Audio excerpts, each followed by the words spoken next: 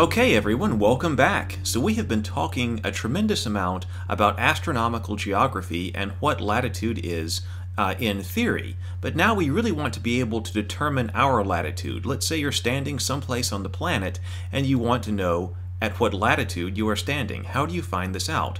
Well, actually, if you understand sun angles, then the determination of latitude is actually rather simple. It's a very simple formula uh, to do this as long as you understand what particular latitude on any particular day that you're trying to make your determination of latitude uh, is receiving the direct rays of the sun.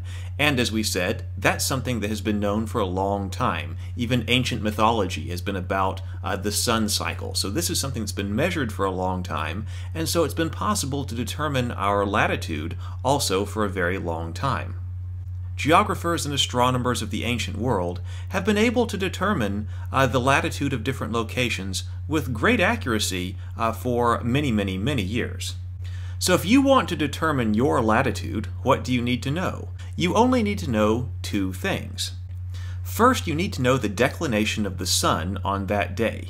Now, I don't think I've actually used the term declination of the sun yet, even though we have talked about this uh, concept time and time again when we were talking about astronomical geography.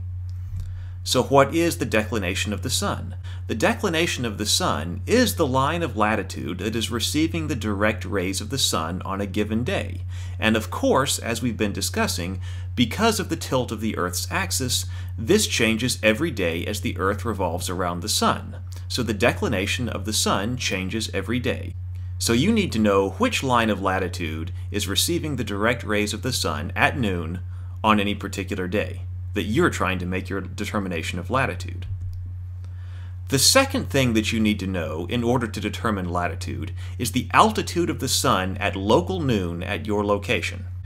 This is when the sun is highest in the sky at your location, and this may not always be noon according to your watch, Remember that today we typically simplify time across the planet into 24 different time zones, whereas technically noon is when the sun is highest in the sky over wherever it is you're standing, we tend to simplify things for the purposes of timekeeping by having different time zones and just saying, hey, everybody within this particular band will say it's noon at the same time. And that simplifies a lot of things, like train schedules historically, but it doesn't help you find a latitude. So when we're talking about finding the altitude of the sun at local noon at your location, we mean at whatever time it is that you look up into the sky and the sun is at its highest point. That's local noon for you. So what exactly is the sun angle that you need to measure? The sun angle is simply the angle between the horizon and the sun at its highest point in the sky, at local noon. So you can see that if that's all you need to know, uh, then it has been very easy uh, historically to be able to determine latitude. This sun angle can be determined simply with a protractor, and protractors have been around for thousands of years. So if you have a protractor to measure angles, you can determine the sun angle. And then, as far as the declination of the sun goes, we've been talking about how ancient peoples have been tracking that and how that's been very important to them for harvest seasons and planting seasons. And so, scholars have been calculating and cataloging the declination of the sun also for thousands of years. Well, how do you determine the declination of the sun on any particular day? Well, because what particular line of latitude is receiving the direct rays of the sun on any particular day has been cataloged, you can use a tool called an analemma. An analemma is this figure eight shaped device that you very frequently see on the sides of globes. An analemma will help you determine the declination of the sun on any day. Here is an analemma that's a little bit easier to see. Check out what you see on this analemma. The first thing you notice is this figure eight shape. And this figure eight shape is what's going to allow you to determine uh, the declination of the sun on any given day. Or if you knew uh, the declination of the sun, you could find out uh, what day it was. It would allow you to go both ways. If you were to plot the path of the sun through the sky at any particular location, at its highest point throughout the entire year, it would follow a figure eight shape like this. Uh, this particular shape is brought about because the Earth does not orbit the Earth in a perfect circle. You know, we said there are complications that the Earth is not perfectly spherical, it's uh, a little bit squashed, and there are different shapes in there. Well, likewise, when we talk about the orbit of the Earth around the Sun, it's not true that it's a perfect uh, circle. It's a little bit uh, elliptical, it's an elliptical shape. And because of the elliptical shape, the Earth travels at different speeds around the Sun at different times. And that actually uh, is what causes this figure eight shape to be a little bit squashed on one side. So let's take a look at what we see when we look at the analemma. We have the figure eight shape that is divided into every single day of the year. Take a look at it closely. You'll see all the different months there, and you will see all of the different days of the month along the analemma. Then you will also see that we have three different lines of latitude that should be extremely familiar to us right now. We have the Tropic of Cancer, we have the equator, and we have the Tropic of Capricorn. And since we said that if you were in the tropics, that means that on some day of the year, at least one, and in most cases two days of the year, the sun will be directly overhead at noon because that latitude is receiving the direct rays of the sun. It makes sense that our analemma oscillates between the Tropic of Capricorn in the south and the Tropic of Cancer because these are all of the areas on the planet that can receive the direct rays of the sun. If you look over here on the left side, you will see the declination of the sun. You will see all of the different degree measurements of the lines of latitude from the equator up to the Tropic of Cancer and from the equator down to the Tropic of Capricorn. So it becomes very easy to determine the declination of the sun if you have this particular device. If you have your analemma with you, you can look up any day of the year and then slide right over to the side and find out the declination of the sun on that day.